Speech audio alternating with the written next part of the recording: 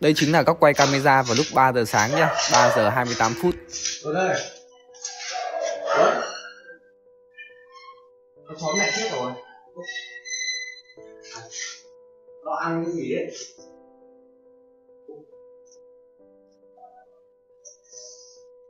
Rồi hôm mai con nó không ngủ được Đi đi đi đi Nó ăn cái gì đấy? Đúng đâu rồi à? Đến đoạn này thì mình và thằng em mình mang ra đồng để đi chôn nhá. Hello bạn nhá. Hôm nay mình rất là buồn. Nhà mình có nuôi một con chó mẹ. Nó có 5 đứa con và mới đẻ được 10 ngày. Nó còn chưa mở mắt luôn. Và Sáng sớm nay không biết là con chó mẹ ăn cái gì ấy. Xong là nó bị co giật, xong là chết. Mình thì vừa mới chôn nó rồi. Hiện tại thì còn 5 con chó con mà nó còn chưa mở mắt nữa. Nó còn đang bú mẹ. Giờ mẹ nó mất thì mình cũng không biết là làm sao để cho nó ăn đây. Chắc là mình phải bơm sữa các bạn ạ. Đó, bây giờ mình sẽ quay luôn cho bạn xem nhá. Đi theo mình. Hiện tại trời đang mưa này. Đây. Đằng sau nhà mình thì nuôi rất nhiều động vật luôn. Mình có rất nhiều động vật thì tí nữa mình cũng sẽ tiện mình quay cho bạn xem luôn nhá. Đây cái lối đằng sau nhà mình đây Có một cái vườn. Ở đây là một con chó này. Ở đây cũng một con chó này. Ở kia có hai con nữa, tí mình sẽ quay sau nhá. Còn lại đây là gà. Đây, cho bạn xem.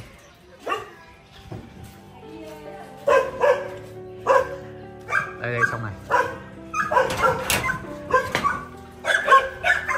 Đây, mình cho các bạn xem này. Năm con chó rất là bụ bẫm luôn. Đó, nó còn đang trong thời kỳ uống sữa. Rất là tội luôn ngày mẹ ngóng bao ngày mẹ khóc bao ngày mẹ mong con chào đời ấm trong đành có trang tiếng của một hài nhi đang lớn dần Đấy các bạn thấy không?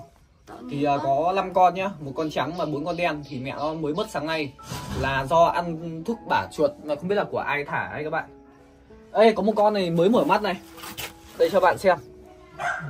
mắt rồi Đây con này mới mở mắt này. yêu á Đấy, mới mở mắt nhá. ừ, tội quá à. Rất là tội luôn. Bé tí này mà Đó mồ côi mẹ à để xem là con này mở mắt chưa. Con này sắp mở mắt đấy các bạn ạ, khả năng ngày mai con này mở mắt. Đó. Thì uh, con kia là được nhìn thấy mẹ sớm nhá. Nhưng mà rất tiếc là mẹ nó không qua khỏi. Mẹ mất thì ờ, bây giờ bọn nó đang trong thời kỳ bú nữa ấy. Nên là chắc là giờ mình phải đút đút sữa cho nó uống. Giờ mình sẽ làm mẹ thay nhá. Rất là tội luôn. Bạn nào mà yêu động vật thì ờ, có thể qua nhà mình mình sẽ để cho các bạn ờ, mấy con này nuôi nhá. Chứ nói thật là mình cũng hơi vất vả. Làm công việc cũng không có thời gian đấy. đút sữa nào?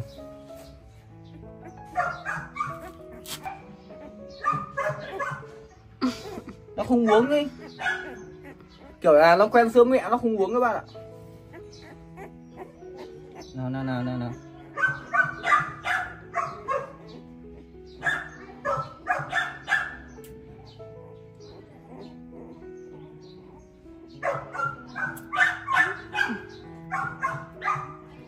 Uống rồi uống rồi uống rồi. Bạn nào mà yêu thương và đồng cảm ấy thì qua nhà mình mình sẽ hỗ trợ là đưa cho bạn nhận nuôi nhá và những bạn bé thì mình sẽ không giao cho bởi vì những bạn bạn bé còn bận học các thứ nữa. Nên là chắc không có thời gian và không biết chăm sóc. Còn những bạn nào lớn lớn rồi ấy, thì qua nhà mình mình sẽ đưa cho nhá. Ok. Rồi tiện đây mình sẽ quay luôn tất cả động vật nhà mình cho các bạn xem. Mình vừa cho ăn xong. Đấy.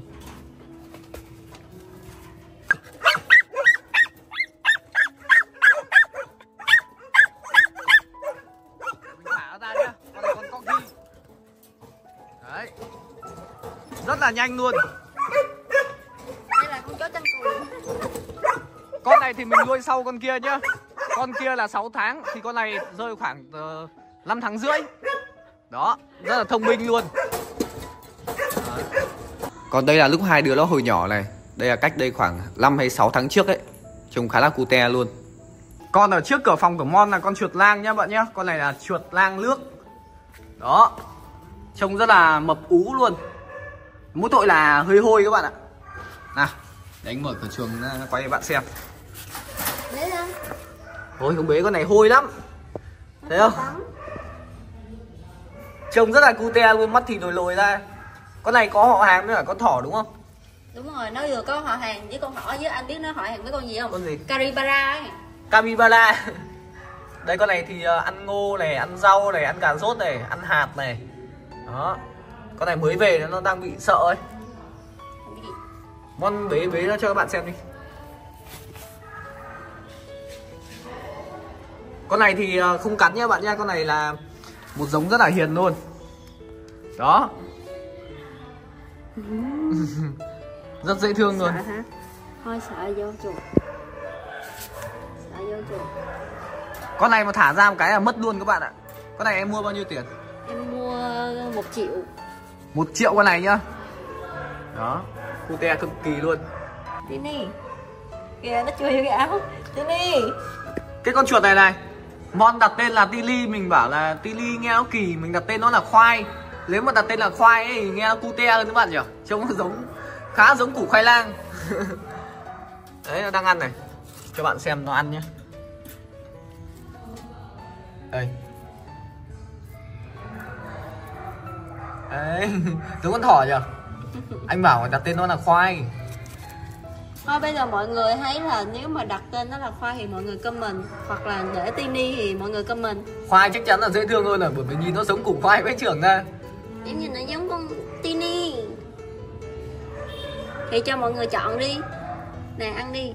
Nó chê, nó chê các em đưa nó phải ăn cái Nhưng mà cái thằng khoai này rất là là khai luôn nhá Người khai khắm khai khú Chưa lên. tắm mới đem về cơ mà. Kinh quá. Phải 4 ngày sau mới được tắm. Khoai thối. Bây giờ mình sẽ huấn luyện chó ăn xúc xích nhá. Bao giờ cho ăn mới được ăn? Con con kia này thì cực kỳ là thông minh luôn. Đặt xuống này từ từ. Chưa cho ăn, chưa cho ăn. Chưa cho ăn, đặt ở đây. Nào! Bao giờ cho ăn mới được ăn? Biết chưa? Này này, không được mon men nhá. Đấy. Nào, bao giờ bảo cho ăn được ăn? Nhìn các bạn nhìn này. Ăn đi. Đấy Khôn, khôn, khôn đâu? Bây giờ nhá, đặt miếng xúc xích ở đây. Không cho ăn là không dám ăn. Ăn đi. Đấy. Để mình xem xem nó nghe lời bạn hay nghe lời mình? Đây.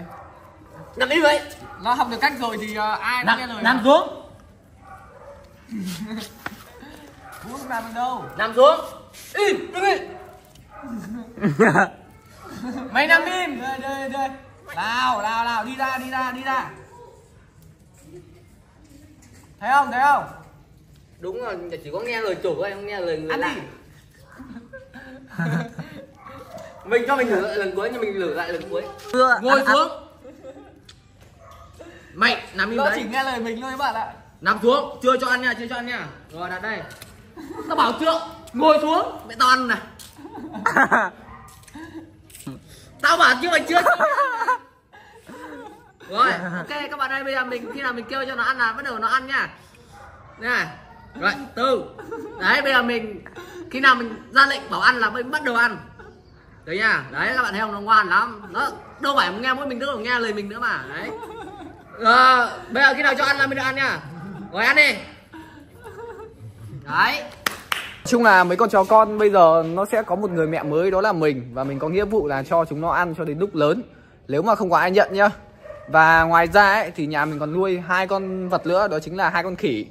Đó thì hai con khỉ nhà mình nuôi ở trên cây. Đây cho bạn xem nhé Đây cho bạn xem này. Đấy, nhà mình có hai con khỉ. Hai con khỉ này cực kỳ là thông minh luôn. Đấy, nó đang kêu kìa.